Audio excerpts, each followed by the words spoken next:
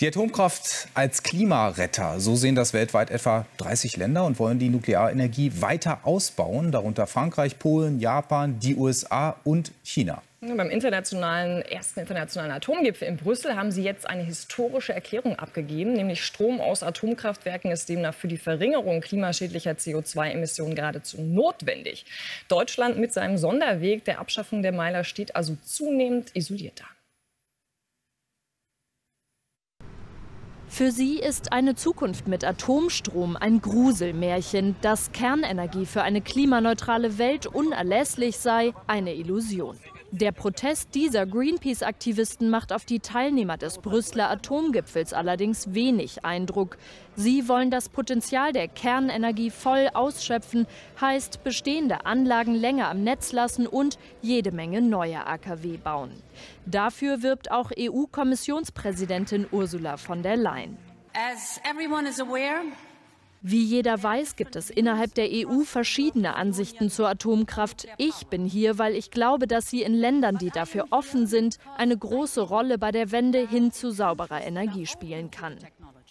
Die deutsche Bundesregierung sieht das anders, ist mit ihrer Anti-Atomkrafthaltung unter den großen EU-Staaten aber ziemlich isoliert.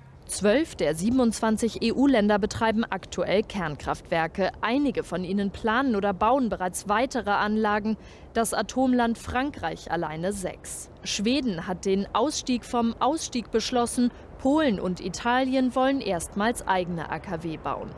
In Deutschland gingen die letzten Meiler im Frühling 2023 vom Netz. Eine Rückkehr zum Atomstrom für die Grünen ausgeschlossen. Wir haben das Risiko ständiger Atomtransporte, sowohl von Brennelementen als auch von abgebrannten Brennelementen, von hochradioaktivem Atommüll. Und wir haben das große Risiko, dass wir bis heute noch nicht mal wissen, wohin damit. Und das möchte ich der künftigen, künftigen Generationen nicht zumuten.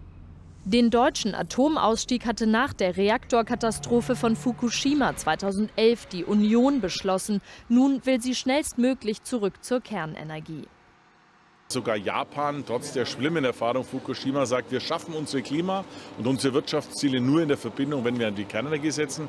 Vor dem Hintergrund, glaube ich, sind diese ideologischen Hardcore-Gegner, gerade bei den Grünen, eine echte Standortblockade und Standorthindernis für Deutschland.